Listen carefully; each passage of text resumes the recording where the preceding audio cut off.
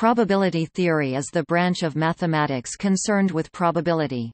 Although there are several different probability interpretations, probability theory treats the concept in a rigorous mathematical manner by expressing it through a set of axioms.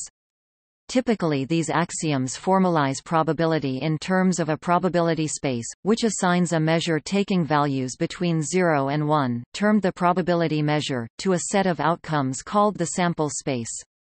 Any specified subset of these outcomes is called an event. Central subjects in probability theory include discrete and continuous random variables, probability distributions, and stochastic processes, which provide mathematical abstractions of non-deterministic or uncertain processes or measured quantities that may either be single occurrences or evolve over time in a random fashion. Although it is not possible to perfectly predict random events, much can be said about their behavior.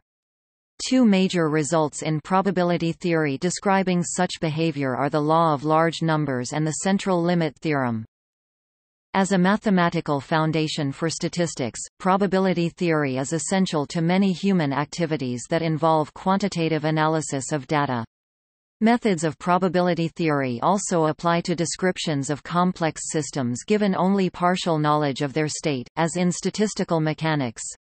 A great discovery of 20th-century physics was the probabilistic nature of physical phenomena at atomic scales, described in quantum mechanics.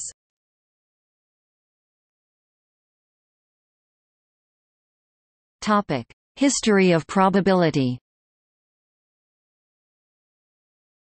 The mathematical theory of probability has its roots in attempts to analyze games of chance by Gerolamo Cardano in the 16th century, and by Pierre de Fermat and Blaise Pascal in the 17th century for example the problem of points Christiaan Huygens published a book on the subject in 1657 and in the 19th century, Pierre Laplace completed what is today considered the classic interpretation. Initially, probability theory mainly considered discrete events, and its methods were mainly combinatorial. Eventually, analytical considerations compelled the incorporation of continuous variables into the theory. This culminated in modern probability theory, on foundations laid by Andrei Nikolaevich Kolmogorov. Kolmogorov combined the notion of sample space, introduced by Richard von Mises, and measure theory and presented his axiom system for probability theory in 1933. This became the mostly undisputed axiomatic basis for modern probability theory, but, alternatives exist, such as the adoption of finite rather than countable additivity by Bruno de Finetti.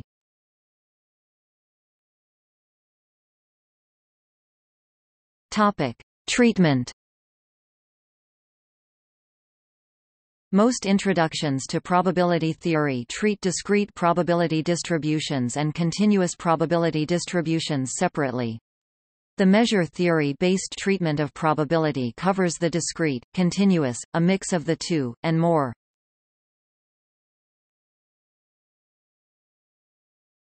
Topic: Motivation Consider an experiment that can produce a number of outcomes. The set of all outcomes is called the sample space of the experiment. The power set of the sample space or equivalently, the event space is formed by considering all different collections of possible results. For example, rolling an honest die produces one of six possible results. One collection of possible results corresponds to getting an odd number. Thus, the subset 1, 3, 5 is an element of the power set of the sample space of die rolls. These collections are called events. In this case, 1, 3, 5 is the event that the die falls on some odd number. If the results that actually occur fall in a given event, that event is said to have occurred. Probability is a way of assigning every event a value between 0 and 1, with the requirement that the event made up of all possible results in our example, the event 1, 2, 3, 4, 5, 6 be assigned a value of 1. To qualify as a probability distribution, the assignment of values must satisfy the requirement that if you look at a collection of mutually exclusive events events that contain no common results, e.g., the events 1, 6, 3, and 2, 4 are all mutually exclusive, the probability that any of these events occurs is given by the sum of the probabilities of the events. The probability that any one of the events 1, 6, 3, or 2, 4 will occur is 5 sixths. This is the same as saying that the probability of event 1, 2, 3, 4, 6 is 5 sixths.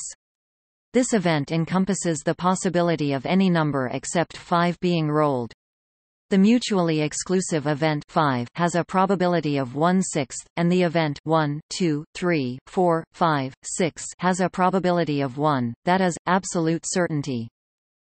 When doing calculations using the outcomes of an experiment, it is necessary that all those elementary events have a number assigned to them.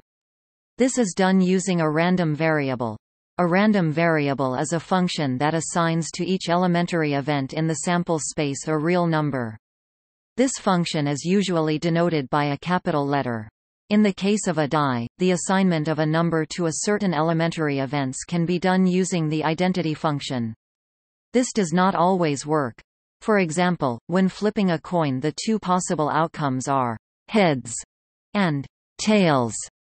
In this example, the random variable x could assign to the outcome heads the number 0 x h e a d s equals 0 display style x heads equals 0 and to the outcome tails the number 1 x t a i l s equals 1 display style x tails equals 1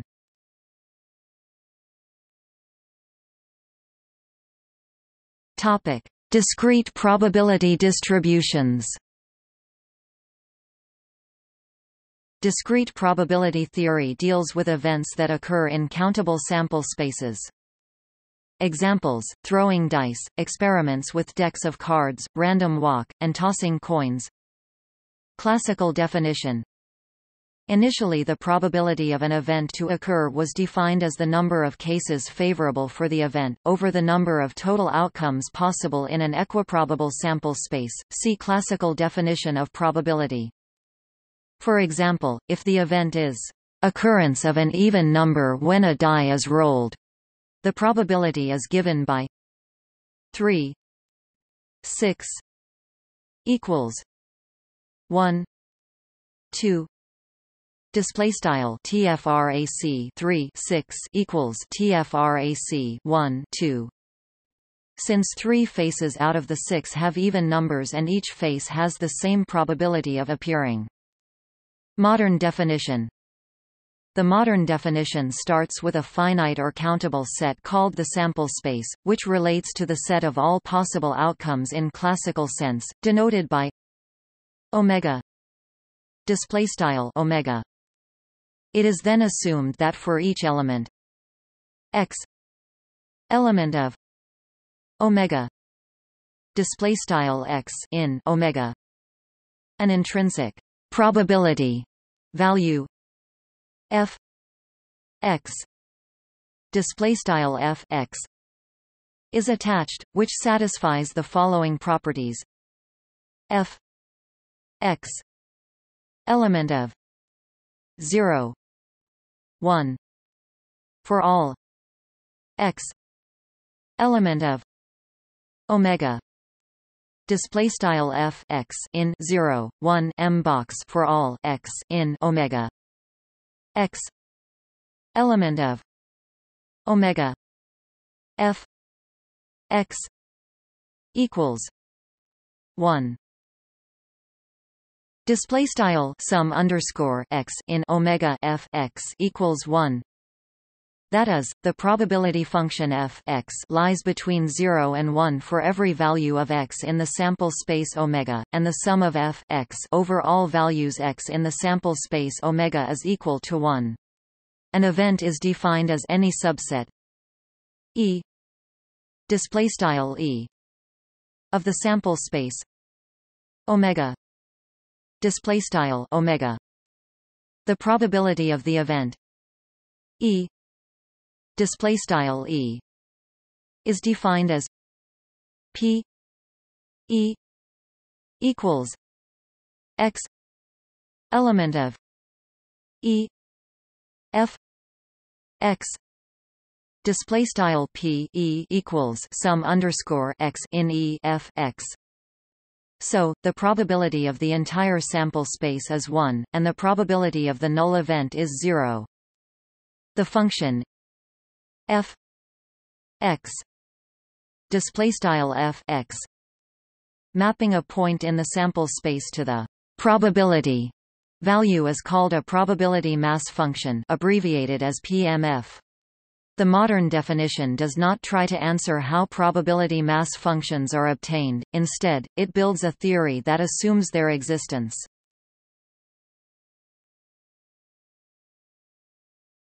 Topic. Continuous probability distributions Continuous probability theory deals with events that occur in a continuous sample space. Classical definition The classical definition breaks down when confronted with the continuous case. See Bertrand's paradox. Modern definition If the outcome space of a random variable x is the set of real numbers R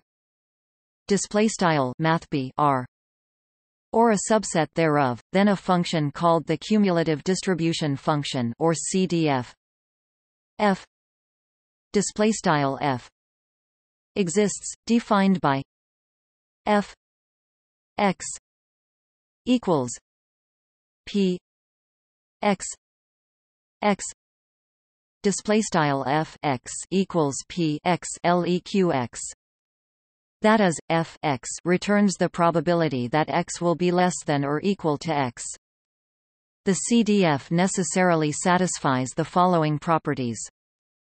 f display style f is a monotonically non-decreasing, right continuous function.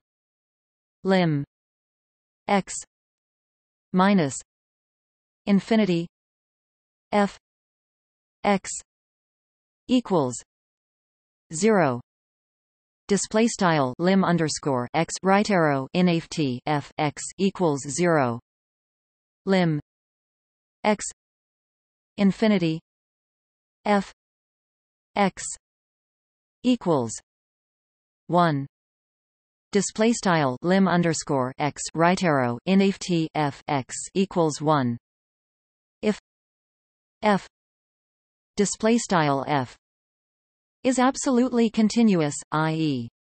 its derivative exists and integrating the derivative gives us the CDF back again, then the random variable x is said to have a probability density function or PDF or simply density f x equals d f x d x display style f x equals frac df x dx for a set e r display style e subsetek mathb r.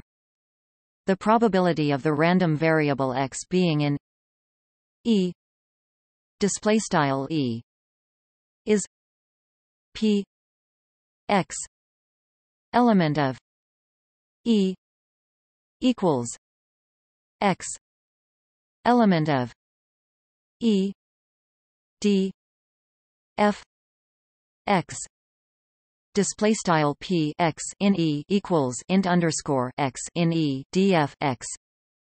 In case the probability density function exists this can be written as p x element of e equals x element of E f x d x. Display style p x in e equals int underscore x in e f x dx Whereas the PDF exists only for continuous random variables, the CDF exists for all random variables including discrete random variables that take values in R. Display style R. These concepts can be generalized for multidimensional cases on R n display style mathb R caret n and other continuous sample spaces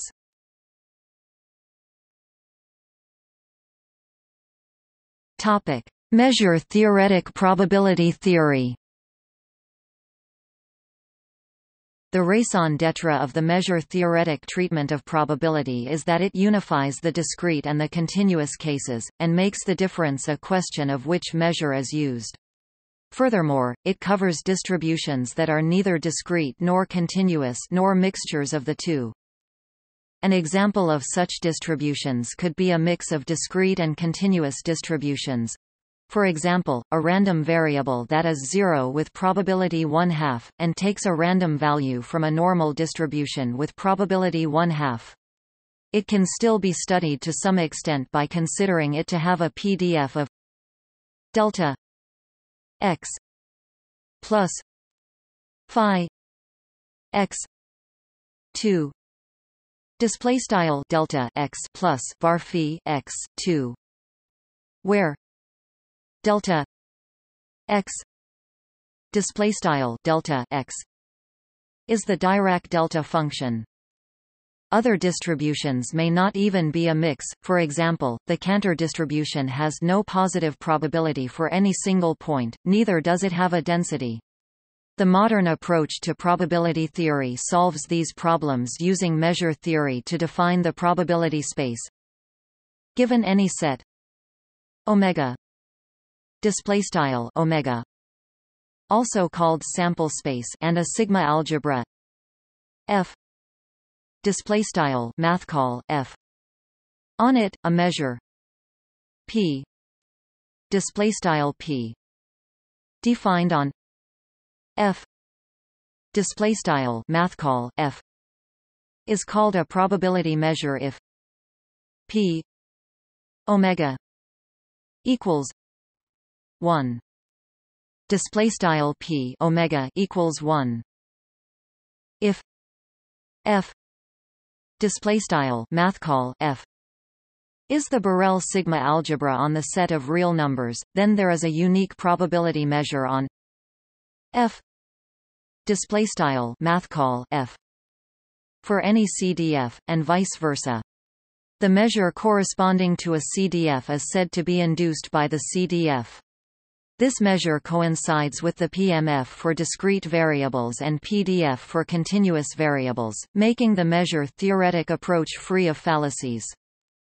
The probability of a set E display style E in the sigma algebra f display style math call f is defined as p e equals omega element of e mu f d omega display style p e equals int underscore omega in e mu underscore f d omega where the integration is with respect to the measure mu f display style mu underscore f induced by f display style f along with providing better understanding and unification of discrete and continuous probabilities measure theoretic treatment also allows us to work on probabilities outside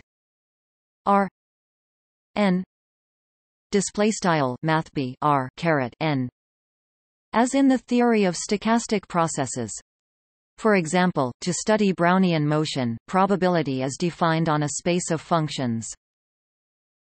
When it's convenient to work with a dominating measure, the Radon-Nikodym theorem is used to define a density as the Radon-Nikodym derivative of the probability distribution of interest with respect to this dominating measure. Discrete densities are usually defined as this derivative with respect to a counting measure over the set of all possible outcomes. Densities for absolutely continuous distributions are usually defined as this derivative with respect to the Lebesgue measure.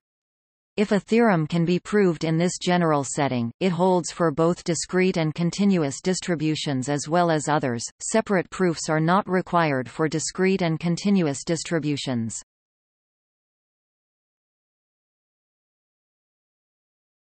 Topic: Classical probability distributions. Certain random variables occur very often in probability theory because they well describe many natural or physical processes. Their distributions, therefore, have gained special importance in probability theory. Some fundamental discrete distributions are the discrete uniform, Bernoulli, binomial, negative binomial, Poisson and geometric distributions. Important continuous distributions include the continuous uniform, normal, exponential, gamma and beta distributions.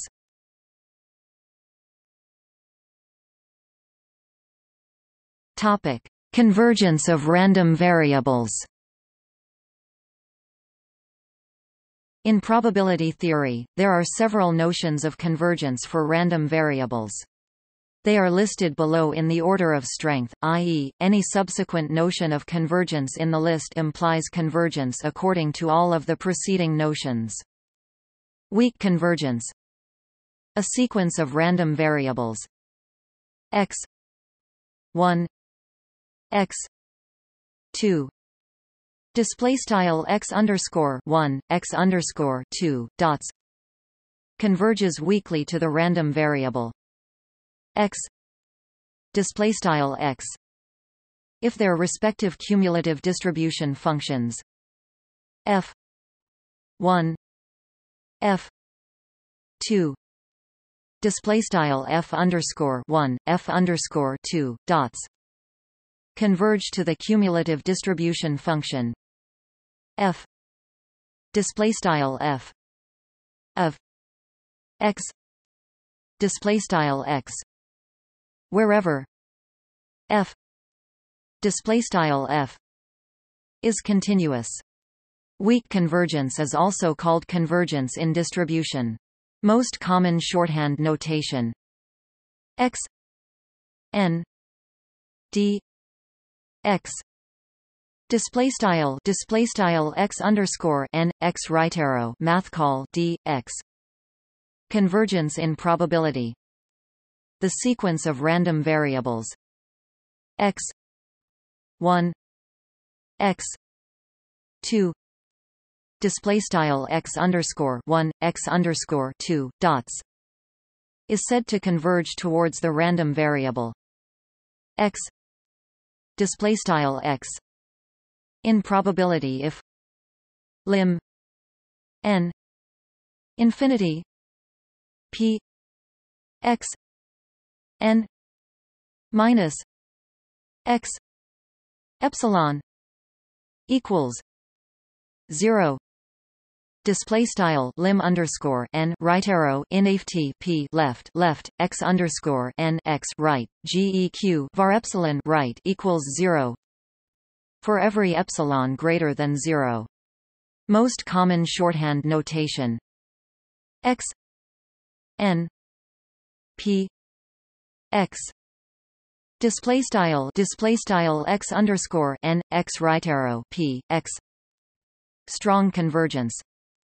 The sequence of random variables.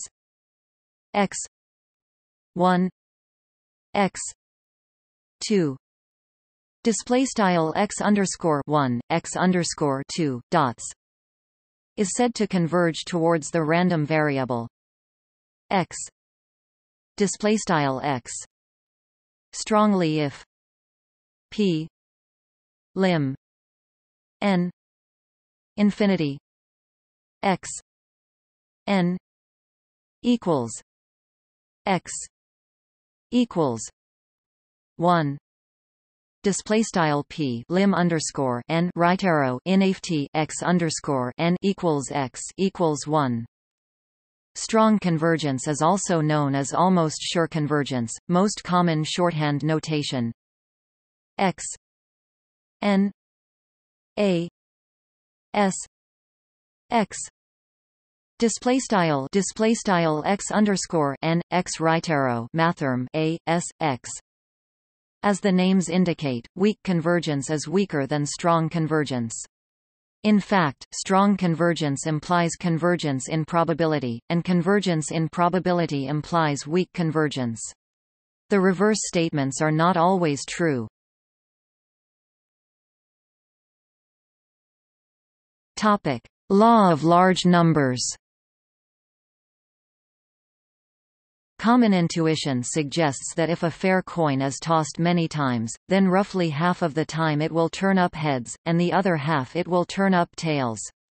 Furthermore, the more often the coin is tossed, the more likely it should be that the ratio of the number of heads to the number of tails will approach unity. Modern probability theory provides a formal version of this intuitive idea, known as the law of large numbers.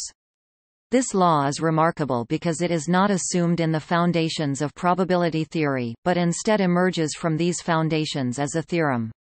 Since it links theoretically derived probabilities to their actual frequency of occurrence in the real world, the law of large numbers is considered as a pillar in the history of statistical theory and has had widespread influence. The law of large numbers (LLN) states that the sample average x n equals one N K equals one N X K Display style overline x underscore n equals frac 1 n sum underscore k equals 1 caret n x underscore k of a sequence of independent and identically distributed random variables x k display style x underscore k converges towards their common expectation.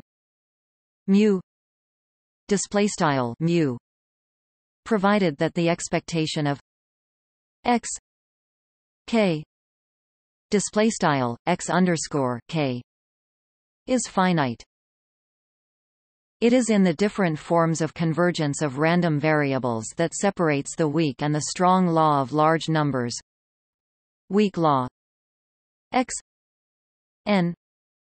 P. Mu. Display style display style overline x underscore n x right arrow p mu. 4 n. Infinity. Display style n to infinity strong law. X n a s mu display style display style overline x underscore n x right arrow mathrm a s mu 4 n infinity display style n to infinity it follows from the LLN that if an event of probability p is observed repeatedly during independent experiments, the ratio of the observed frequency of that event to the total number of repetitions converges towards p. For example, if y 1 y 2 display style y underscore 1 y underscore 2 are independent Bernoulli random variables taking values 1 with probability p and 0 with probability 1 p, then e y i equals p display style text rm e y underscore i equals p for all i so that y n display style bar y underscore n converges to P almost surely.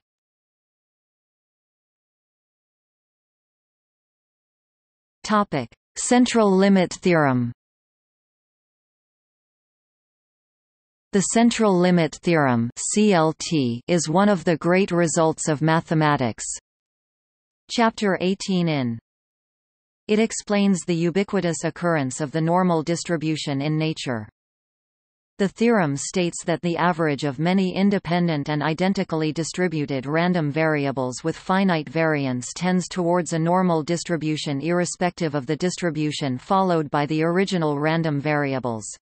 Formally, let x 1 x 2 display style x underscore 1 x underscore 2 dots be independent random variables with mean mu display style mu and variance sigma 2 greater than 0 display style sigma caret 2 greater than 0 then the sequence of random variables z n equals i equals 1 n x i minus mu sigma n display style z underscore n equals frac sum underscore i equals one caret n x underscore i mu sigma sqrt n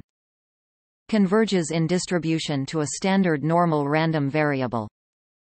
For some classes of random variables the classic central limit theorem works rather fast see Berry-Esseen theorem, for example the distributions with finite first, second, and third moment from the exponential family. On the other hand, for some random variables of the heavy tail and fat tail variety, it works very slowly or may not work at all. In such cases one may use the generalized central limit theorem GCLT.